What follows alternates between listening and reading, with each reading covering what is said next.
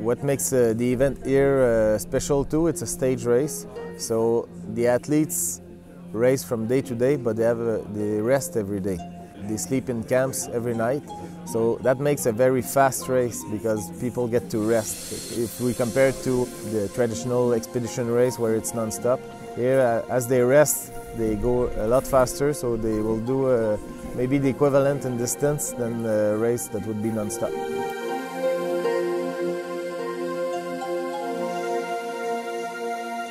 Feeling pretty good today. Starting things off with a nice long bike ride. Gonna do some bike whacking, so it could get a little technical in parts, a little bushy. Uh, after that, we're gonna be doing some trekking down in the creeks again.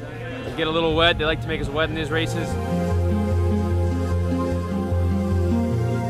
Oh, the sunshine's beautiful. After yesterday's rain and cold, I think it's gonna dry out all the teams today. It's gonna be positive.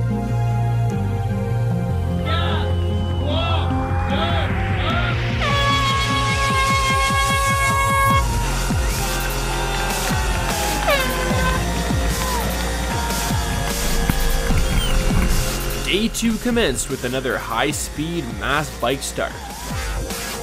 Before teams headed into the mountains for a technical bike leg, which featured a strenuous bike whack section, where racers had to carry their bikes through the forest and down a steep mountain slope.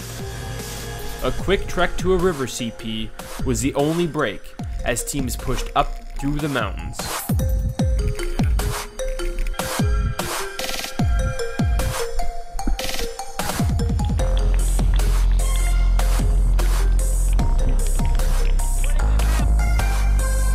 Arriving at the transition area, racers refueled and headed out on a trail run trekking section, which would take them down to the river valley towards the canoe section.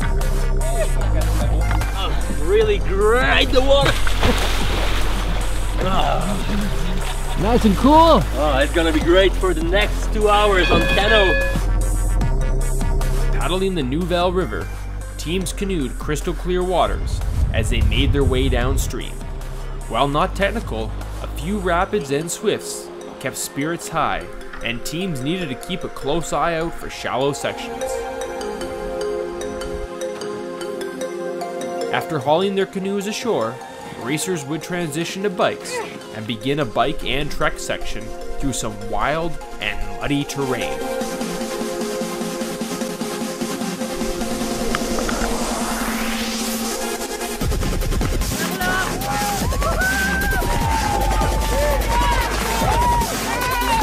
We're gonna go do some coasteering, uh, which we're really looking forward to. There's also a zip line down along the coast too, so it should be really, really scenic. And hopefully the tides cooperate with us this year too.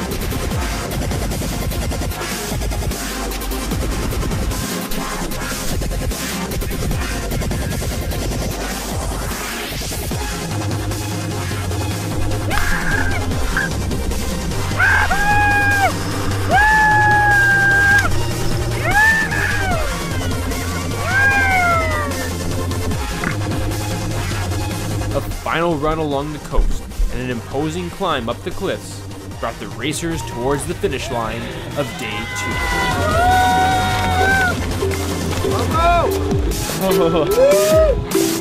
Good stuff, guys. It was fun.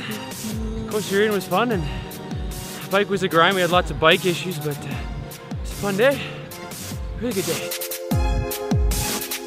Yes, we want people to discover the area. There's beautiful villages in the area, but our main concern it's always about the course. So first thing we take, we take the maps and uh, we try to find the best spot. And uh, the field team did an excellent job this, year. When I see all the racers coming in at the end of the day and they said they found super place, that's our reward.